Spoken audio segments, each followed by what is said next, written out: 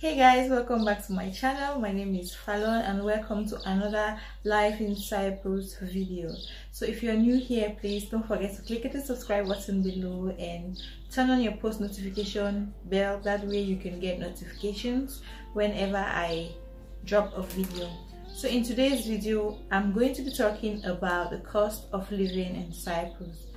First things first i would like to say if you have any opinion or if i say something you don't really agree with it you're free to like uh, leave a comment in the comment section below. And whatever i'm saying here today is based on my own experience or based on whatever i mind you guys i've been here for a little over two years. There are people who've been here for 15 years and all that so whatever i'm giving you is based on my own opinion. I don't know about the lighting today but anyways let's dive right into the video so when i'm while talking about cost of living in cyprus i'm going to be talking about accommodation i'm going to be talking about transportation i'm going to be talking about healthcare i'm going to be talking about your social life food uh, food and all that stuff. So let's begin with accommodation normally before you go to a foreign country you need to figure out firstly where you are going to stay because you can't live under a tree just like you can live under a bridge and all that stuff. So in terms of accommodation in cyprus i feel like accommodation kind of varies. I won't say it's expensive or it's cheap because houses are in categories. If you want an expensive house then you're definitely gonna get an expensive house. And if you want a cheaper house then you're definitely gonna get a cheaper house.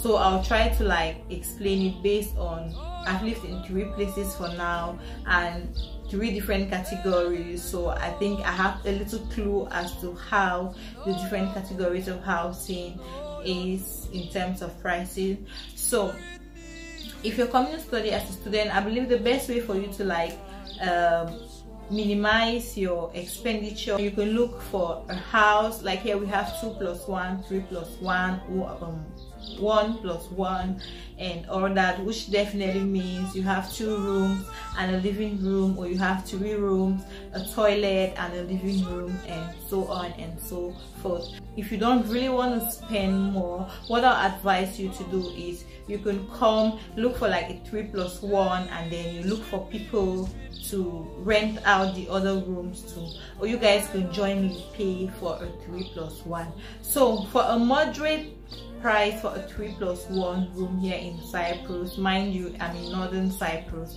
I would say it should be around 21,000. That I think that's the minimum. And that's for a normal house, very normal, maybe an old house, but not that old, but it's okay, it's comfortable. You pay for six months or for a year, a complete one year. So if you're paying say 21,000 Turkish lira for a year and in a three rooms so you guys can share and at the end of the day you pay 7000 the other person pays 7000 and the other person pays 7000 that way it's going to be a lot easier for you and it's going to reduce your expenditure. And another thing guys in terms of accommodation uh, it, the prices also varies with the city in which you live in. So if you live in say Famagusta for example you don't expect to pay uh, your rentage the same or almost the same as someone who lives in Girne, in Lefkosia or in Güzelyurt. So the prices of accommodation varies with respect to the city in which you live in.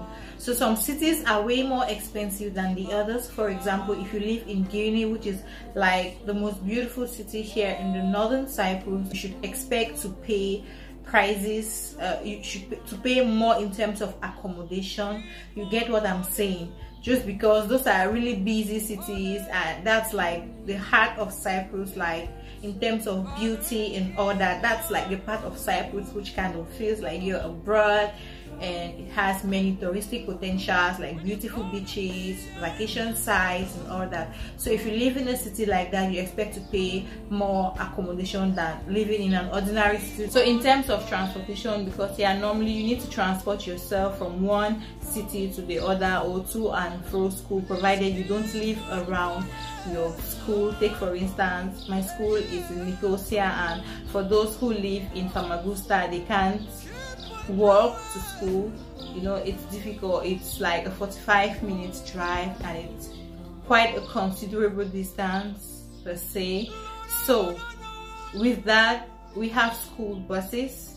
You understand? If you live in the capital city where our school is located then you have little or no problem. In terms of transportation as well you also have to understand that i feel like if you live in the, the capital city say in lefkosia or nicosia nicosia as some might call it uh, transportation is cheaper. Just in case you're not using the school bus like currently with the covid situation you can't access the school bus without a student id whereas initially anyone could just hop into the school bus and transport themselves wherever they wanted to.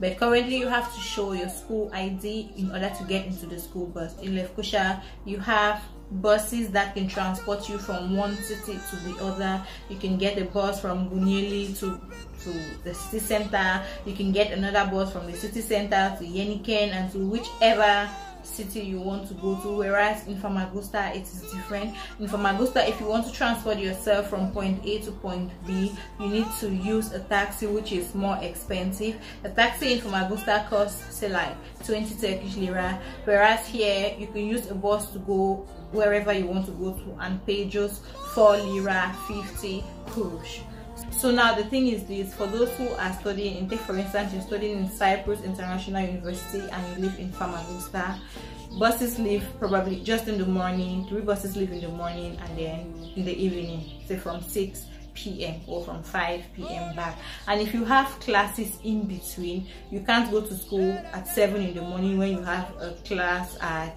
4 you're definitely going to need public transport. With public transport you have to pay. There's no card for public transport and you pay whatever anybody is paying. You understand? That's for those living in Famagusta and maybe in other cities where the school bus is not that mobile. So in terms of food stuff it's advisable. Probably you buy your groceries in bulk and then you store them probably in the refrigerator. And if you have housemates which you guys understand each other. That's the case with me. You guys can jointly buy monthly or weekly you understand depending on how much you consume on a daily base or on a weekly base or on a monthly base. So you can buy in bulk and just store them so that way it's easier for you. For foodstuffs yeah i wouldn't say it's that expensive but i would say it's not the same like in cameroon you understand? Especially if you have to buy stuff like african food stuff that one is super expensive. I will do a video subsequently maybe after doing maybe my weekly or my monthly shopping so i can just show you guys the prices in which we get stuffs here that's african food stuff because it's really very expensive here. But then your personal stuff like your toothpaste your body lotions and all that good all the other personal stuff you can buy that one personally. To be talking about bills. I won't say bills bills and I'm talking of bills I'm talking of electricity bills I'm talking of uh, what else? Water bill that's and your internet bill i will say internet here is cheap. Usually people prefer to do like the home internet. You can go to any uh, company which supplies internet and then you make a contract with them maybe a six months contract a three months contract and then they will do your internet in the house. Electricity here i won't say it's cheap i won't say it's expensive because it depends on how much you consume. You get what i'm saying? So in my house which is a three plus one we pay at least 300 Turkish lira a month for electricity bill. I live in a three plus one and we are like four of us in the three plus one and so we divide the bill we split it by three or by four which makes it easier for you to pay. So the more electrical appliances you have the more you're going to pay for electricity. So on to water bill. I feel like water is like the cheapest here on the island because here we pay water bill. Not every month it comes every other month and the amount is usually not that significant. You get what i'm saying. There are months where we pay 60 tl each for water bill there are months where we pay less there are months where we pay more. So and we use water a lot. That i won't say we minimize our use of water. We use water a lot still the water bill is uh, usually the lowest. I'm going to talk about health care because normally you need to stay healthy and all that. So when you come as a student you're required to do a resident permit. You understand? We call it mujarab here. I don't know if i'm pronouncing it correctly but you're required to do a resident permit after your registration in school and all of that. So once you have your resident permit you have access to free medical care if i'm making sense. But now the thing is if you're sick or whatever you go to the hospital they do all your tests it's free and you see a doctor for free you don't have to pay for consultation you don't have to pay for tests. But then you have to buy your drugs. If the, you buy either from the hospital the, the, the state hospital or you can buy from private pharmacies. If you're buying your drugs from the state hospital the amount is usually not the same as someone buying from an outside pharmacy.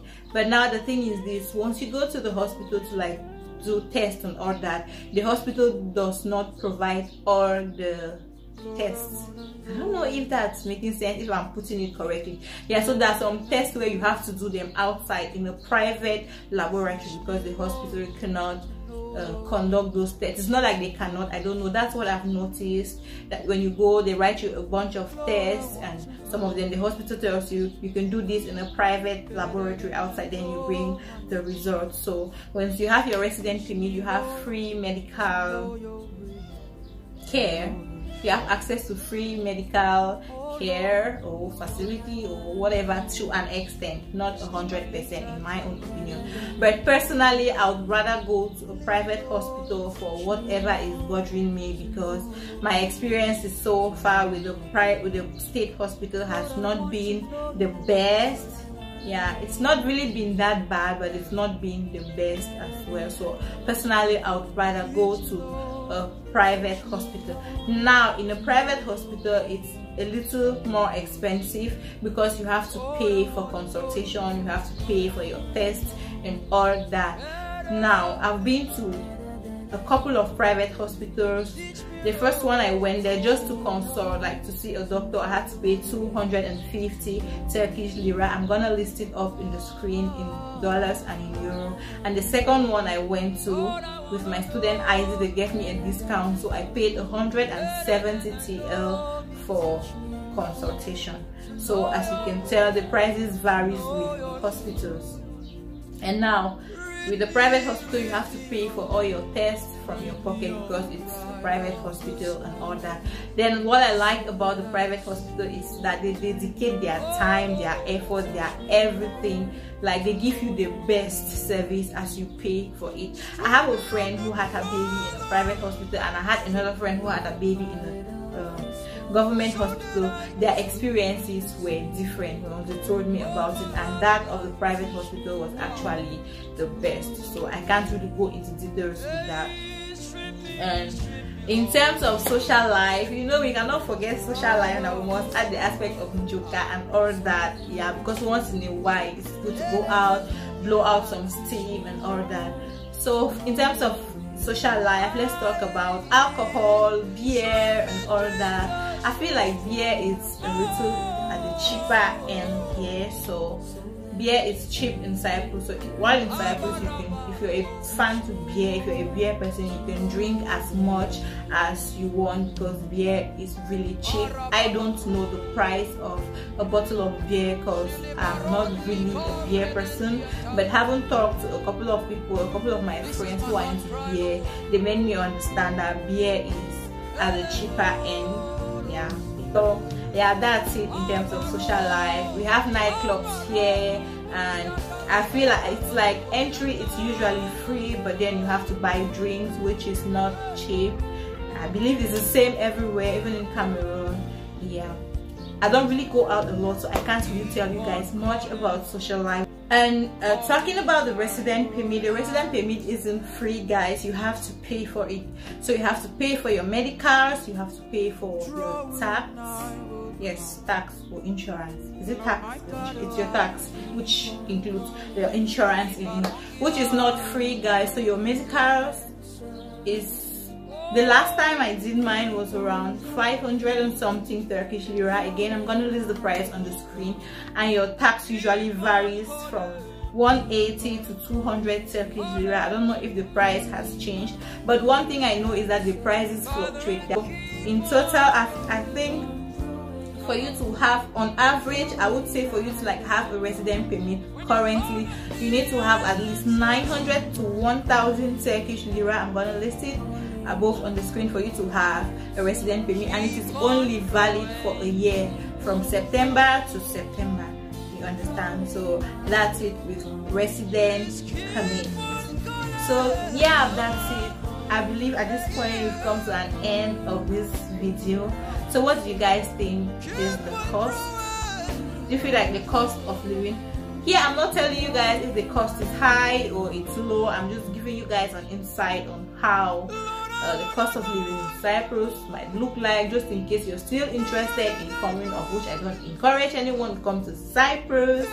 But anyways guys i hope you guys enjoyed this video. If you did give it a thumbs up. Don't forget to, to share it and leave a beautiful comment below and feel free to ask any questions you want to ask me concerning cyprus if you're interested in coming still to study or whatever feel free to leave a question down in the comment section below.